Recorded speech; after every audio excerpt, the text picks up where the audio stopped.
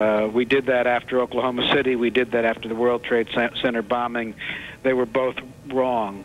But there are certain elements here, suicide bombings, um, which which do have the character of uh, radical militants from abroad. Uh, I think that's certainly where uh, I, I know uh, the intelligence community is is focused.